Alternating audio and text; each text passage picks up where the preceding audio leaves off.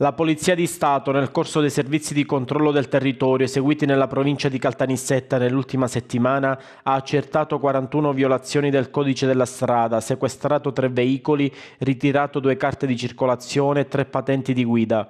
Inoltre 10 persone sono state sanzionate per mancata revisione del mezzo, 8 per mancata copertura assicurativa del veicolo, 8 per guida con patente scaduta, 6 per omesso uso della cintura di sicurezza, 5 per mancato utilizzo del casco protettivo, 2 per utilizzo del cellulare alla guida e 4 per altre sanzioni.